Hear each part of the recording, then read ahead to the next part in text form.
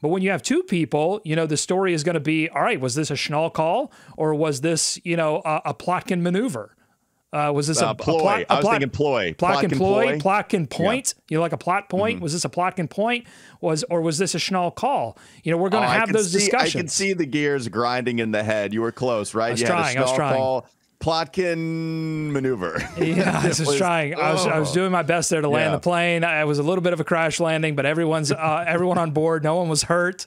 Uh, the engines out. caught on fire right there at the end, but we made it happen. The point It's is, Sully landing. You went in the Hudson. It's fine. that's We're right. I needed a co-pilot. survived. That's it. That's the whole point.